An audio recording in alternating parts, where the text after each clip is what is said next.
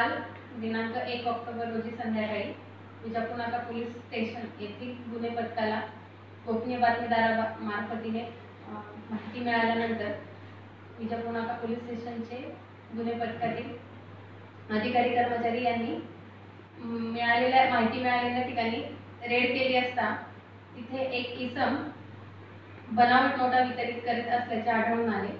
सदर इस्मा इस्माचे नाव संजय पवार असे असून त्या सदर अटक करण्यात आलेली आहे.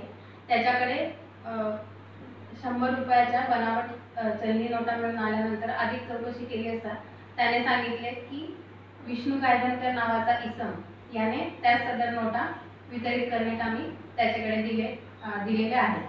त्या सदरच्या माहितीवरून पोलीस अधिकारी कर्मचारी यांनी विष्णू गायधनकर याच्याकडे याला ताब्यात घेऊन त्याच्याकडे अधिक चौकशी केली असता त्याचे घरात एकूण अंदाजे एक लाख दहा हजार रुपये दराच्या बनावट नोटा त्याचप्रमाणे प्रिंटर स्कॅनर पेपर कटर इत्यादी साहित्य घरात घरातून जप्त करण्यात आलेले आहे.